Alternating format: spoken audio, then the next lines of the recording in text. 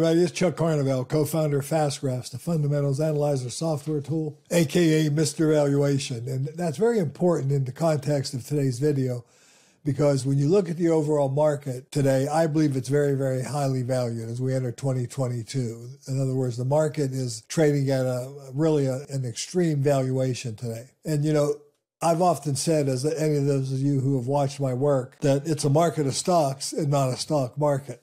And in that vein, there are about 19 to 20,000 companies that we cover in the FastGraph database, U.S. and Canadian companies, for example. And there are 11 major sectors in that universe.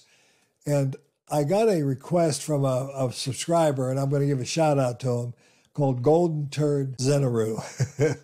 Love your name, by the way. And he says, Dear Chuck, can you make a video on three stocks in every sector for a rising rate environment? Thanks if you think it's worth it. Well, you know, to me, stocks for a rising rate environment would be true to my name or my monocle, if you will. I'm looking for very, you know, attractively valued stocks because I believe the overvalued stocks are going to be the ones that are most vulnerable. Although all stocks may fall if we have a major bear market, the undervalued stocks will surely recover much quicker than the overvalued stocks.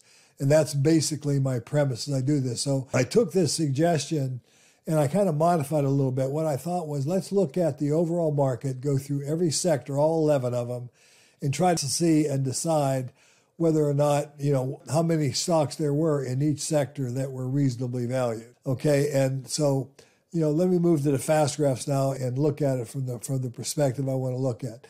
If you look at the overall market, as I suggested, then you'll notice that the S&P 500 is very, very high. The orange line on this graph, on a fast graph, indicates what would theoretically be the intrinsic value. So sort of, you know, you could kind of look at it like what the price ought to be, what the market ought to trade at. The blue line is the normal PE ratio line, we call it. It actually reflects how the market has valued itself, in this case, the S&P 500 over time. And so if you look at this graph closely, you'll see that most of the time, the stock price, which is the black line here, the weekly closing prices, have traded within these two lines, or certainly close to it. And, you know, it was separated coming into the 2001 recession, and now we're separated again. And these very high valuations are very, very vulnerable. And I, as I mentioned, you know, in a previous video, rising interest rates are, you know, something that could really stimulate the market to revert to the mean and get back to a normal valuation. And again, although all stocks, you know, may fall in that environment, the ones that are undervalued should be the ones to recover the most because what you do notice when you look at these graphs, and you'll see that over and over again throughout this video and the future ones I'm going to do, that the price always comes back, you know, into alignment with these lines. It gets disconnected at times, but it always comes back. It, when it gets undervalued, it kind of comes back. When it gets overvalued, it tends to come back. So the key is, I always say, trust the orange line and or the blue line a lot more than you do the price line because stock prices tend to be pathological liars. Okay, so what I'm going to do here, and I'm going to do a series of videos, 11 of them all told. This will be the first one. And what I'm going to do is look at and screen for value in the overall market, i.e., it's a market of stocks, not a stock market, and see how many stocks in each sector are reasonably valued. So if I go to my screening tool here, I've pre-screened these 11 sectors as you can see, and I've got names. I'm going to, I'm going to cover the communication services one first in today's video. Okay, but if I go into screening and go into communication services, I go ahead and go into the screening tool and I go to the GICS industry group. All right, the GICS sector group because there's 11 of them. I'm going to look at the communication services group would be the one that I'm, I'm doing today for you okay, down here, and I'm going to just go ahead and check it, okay, and then I'm just going to run the query just to see what kind of re- results I get. And what you'll note here, there are 500 names that are in the communication services sector, all right. If I go then to my screen, I've only got 11 names in the communication services sector that actually meet my screening criteria. And let, let me talk about what I screened for here a little bit. I screened for investment grade only, triple B minus or better. I screened for estimated trend line growth or the 10 year historical growth of at least 5%. I also screened for future growth, trend line future analyzed rate of return expectations of 5% or better. I screened for an earnings yield of 6% or higher. And again, you know, I screened for the individual sector that I'm talking about. Now, I can modify these screens really almost unlimited. I could drop off the credit rating screen and say, you know, just let me look for all companies that are fairly valued in this sector. But what I'm doing first, this first cut at least, I'm looking for investment grade companies that meet the screen. And so these are the names that I came up with 11 names in this sector that are attractively valued. And again, the key is I'm looking for good valuation, but I'm also looking for that relationship between earnings and price. So let's go ahead and go through these. Let's start by looking at Comcast here, first one that came up. And again, you learn so much from these fast graphs when you look at a company.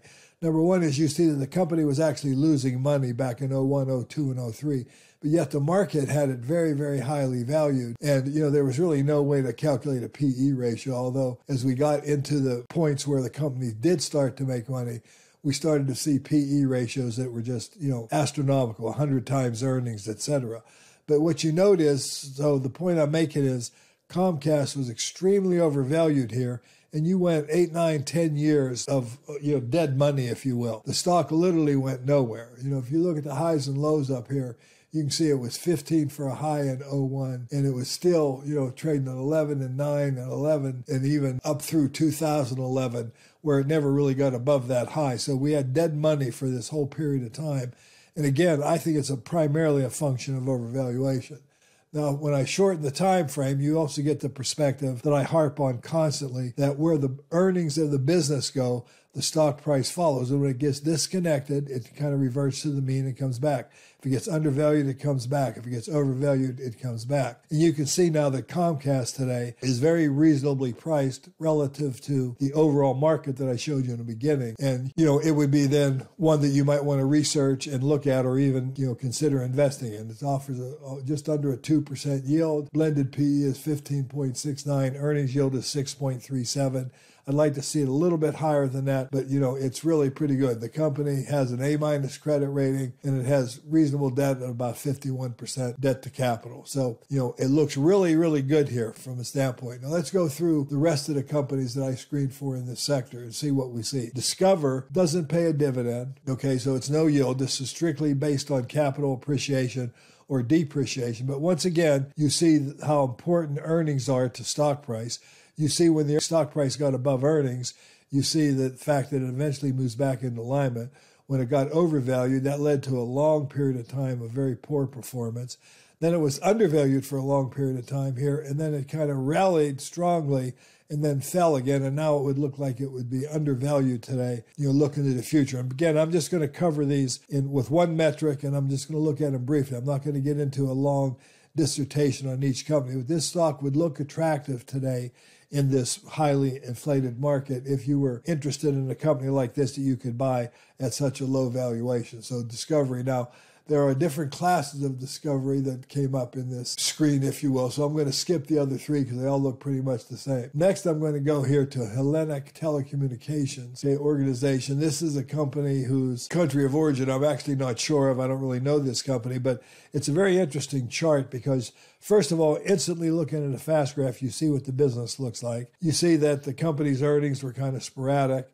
And then you start seeing a period where the company's earnings and dividend really started to perform pretty well. So by shortening the time frame into this time frame, you see that it's been a pretty good stock over the last four, five, six years or so, where you know the company's earnings have grown and the company's stock price has tracked those. Earnings have grown at over 13% a year, offers a 3.6% dividend yield, decent earnings yield, PE about 16 it's within the range of fair value now and if it you know the market dropped a little bit it would certainly become viable. So that's a you know another example of a stock in this sector, only 11 that you know look pretty attractive out of 500 that are in the overall sector that are investment grade.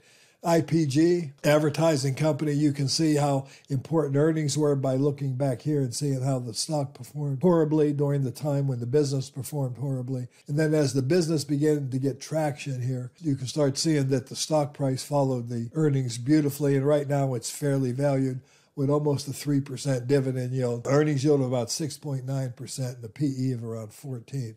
So, you know, this one looks like it's obviously a reasonably attractive company in this sector currently. Moving on here, going into the next one, this would be Nippon, I guess it's pronounced telephone and telegraph. Again, you can see the relationship between price and earnings. The market likes to value this at around 10 or 11 times earnings, you will note. Um, but the stock does look attractive even on that basis, 2.78% dividend yield. But you can see again how important a company's operating results are to its performance. During this period here, where earnings were relatively flat, you know, they went from 94 cents to 99 cents over this, you know, eight or 10 year period here. You can see the stock price did nothing. It wasn't until the company started growing that we started to see some pretty decent performance in the stock. You know, the performance here was you know, 12% over that time frame. Um, underperformed the market, but it did perform in line with its earnings growth of 10.4% plus dividend income. The next stock in this category would be OMC Corporation. Very interesting. You can see again how the stock price was overvalued and it performed poorly, how the price followed earnings, but it gets up and down quite a bit it gets disconnected quite a bit. Right now, it looks like it's undervalued, offers a 3.7% dividend yield, 12 PE with an 8% earnings yield. This one looks like real attractive stock in this particular sector right now. Next one would be Viacom, and I've got a couple of Viacoms here, different classes. Another interesting one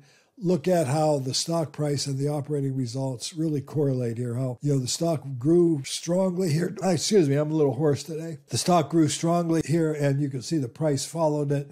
And then we start running into some operating difficulties and uncertainties. The markets don't like uncertainty. The stock price collapsed. Of course, COVID came along and it, you know, that was the flash crash that added more. The stock rallied very strongly and now it's fallen again this is the one you might want to take a closer look at, especially if you're more of a speculator or a trader. Anyway, that's Viacom.